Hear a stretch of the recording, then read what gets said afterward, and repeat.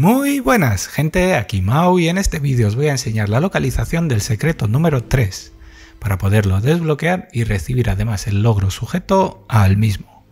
Os enseño su localización desde el altar que encontramos en la zona del comienzo. Nos colocamos delante del molino y pulsamos.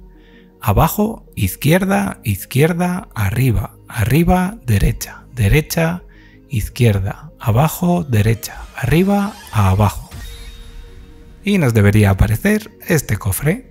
Lo abrimos y recibiremos así el secreto número 3 y su logro.